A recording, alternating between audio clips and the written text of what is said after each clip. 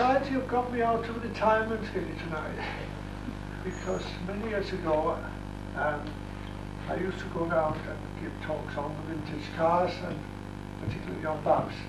When I retired I said, well, enough's enough and that was it. But um, I think Mike Mumford was responsible for this lapse of mine. Um, and, and so here I am. Uh, but what I realized was that um, before I start showing the slides, I'll just say one or two words. What I've realized in the last few years is how things have changed so much in the world of vintage cars. When I started off in well, late 40s really was my first car, and certainly in the 50s, um, people literally laughed at the old car and looked upon them as well. What the hell's he playing about with that for? It was, it was looked upon as a bit of a, a, a comic thing. Well, I enjoyed engineering, and I used to tell the story about the American who visited Anglesey, a Texan farmer, and he got talking to an Anglesey farmer, and being American, he wanted to know how big was this farm of yours. And this is what he said to the farmer, how big is the farm? The old farmer pointed to a few landmarks and he said, 100 acres, he said, I make a living.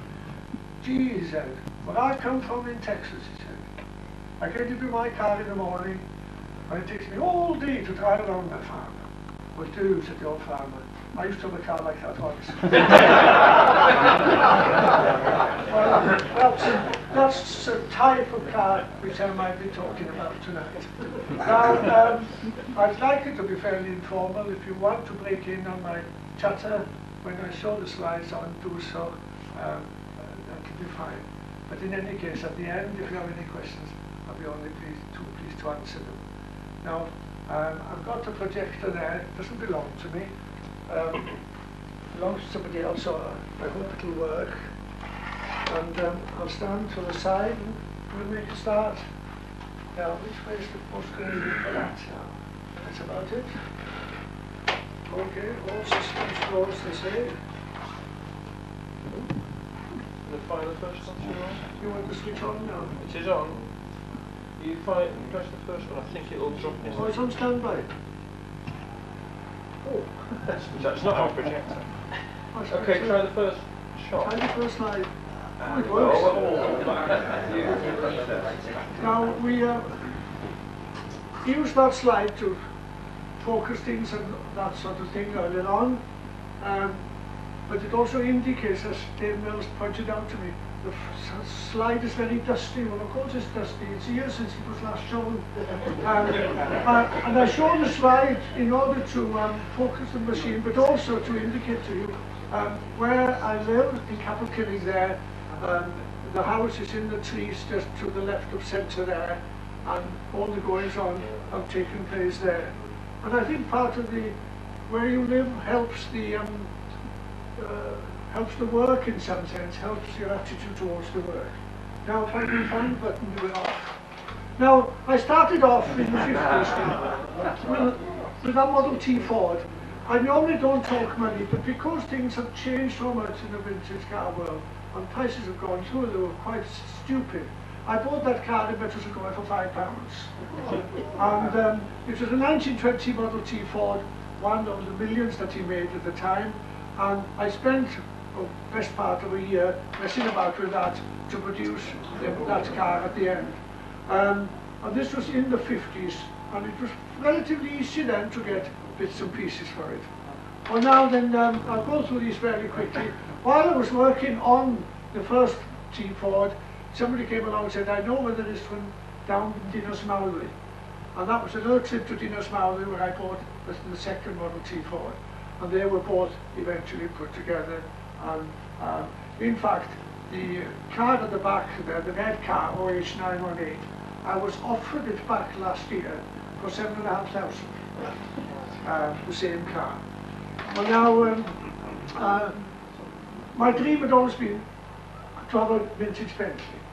And the opportunity came in 1960 when um, I found this Bentley dismantled in Llandudno. And um, it was dismantled more or less in the state that you see it there. Um, a very interesting car, one very desirable car, a six and a half litre speed six Bentley, one of 170 that were made. Um, one of them, not this car, but, but one of them won the Le Mans 24-hour race on successive years in 1929 and 1930. Very sturdy and very well built and reliable car. Now that was assembled. There's the engine of the Bentley. Um, nothing really new today. Four valves per cylinder, overhead camshaft, um, uh, dual ignition, uh, dampers on the camshaft and the crankshaft, and all this way back in 1930. On the finished car now, um, with the two-seater body on, on one of our local roads. Now then, we follow that with another car which I found then in Colwyn Bay. Uh, belonged to a, a person who I got quite friendly with, Peter Baker. Um, he lives on the Manor Estates there now. This was a 1925 French Delage, which uh, has been a favourite in the family, and that's a photograph taken of it in the uh, garage, as I found it, in Colwyn Bay. And that was brought to Cabercurrig, and there is the Delage completed now. Uh, we still have that car. Uh, and I think more of a favourite than the Bentley really, because it's more usable. So now we have two cars. The next car I found was um, uh, in um, Chiw, near Abersoch, top of Chiw. David Lloyd, the Port of Norwich, got wind of this and took me there. And inside that little shack there, there was a 1908 Argyll, a Scottish car. And this was in a terrible state, um, but it was worth having a go at. And it was literally dug out of there because so many of the parts had been buried in the pits. And there's the Argyll um, as it arrived in Capel Curig, just a basic chassis and the body, and very little body, just the front end, and another view from the front. Now, it took quite a while to um, rebuild this and restore this because most of the parts had to be replaced. But I eventually um, did restore it, uh, and there's the Argyll, and it is now actually in the Kelvin Hall Museum in Glasgow. Um, I went to see it one day, and I told the, the chap on the floor, that used to be my old car. So he got the boss man, the curator or whatever they call him, of the museum down to talk to me. And I, I walked around it and I explained to him what I'd done.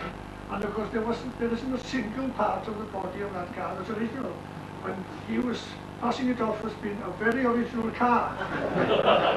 and it wasn't long before we were able to, we put two railway sleepers like that, and we got the JCB to come along, and we put it open, we just rolled the car gently onto the sleepers, pulled it out of the, the water.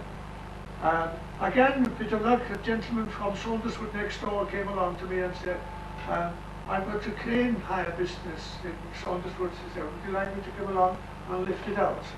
And that was another great bonus, of course, uh, to be had perhaps lifted out and put on the trailer, which um, great St. Llandudno let me the trailer to go down.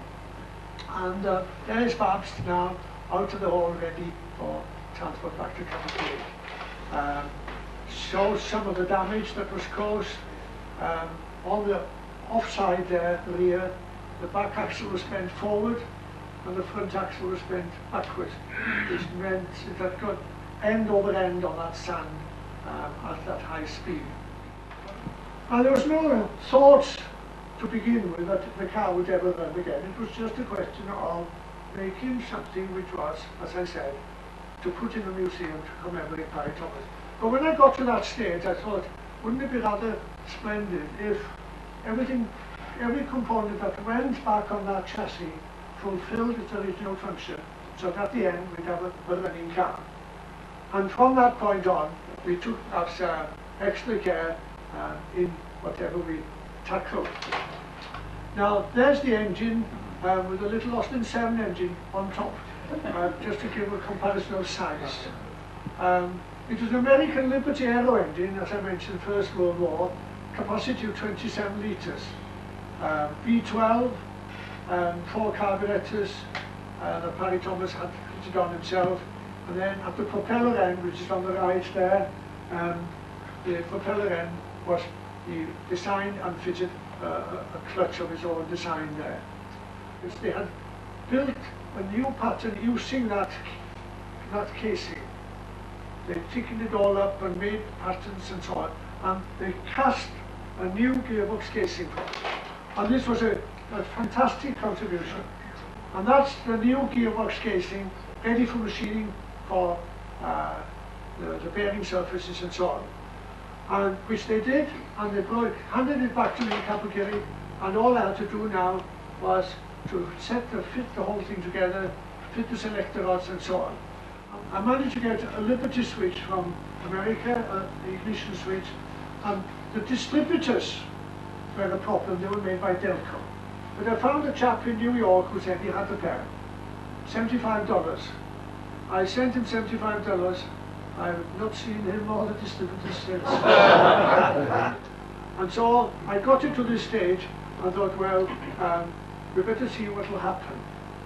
And uh, one quiet Friday afternoon, I let Davy know, I said, let's have a go and see what, whether we can start it up. And we let it down the drive and got it onto the A5.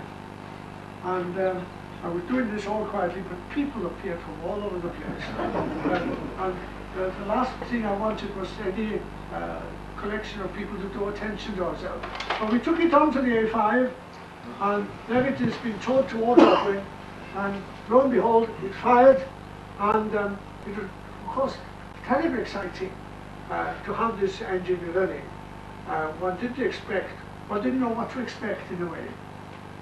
There is Babs, um, uh, pretty well finished there, um, outside the bank in Bangor, and I thought it very appropriate that in some ways uh, it, it must belong a bit to belong a bit to the bank. Because it set the purses stretched stretched the purses quite a bit over the And so um, the complete car is there.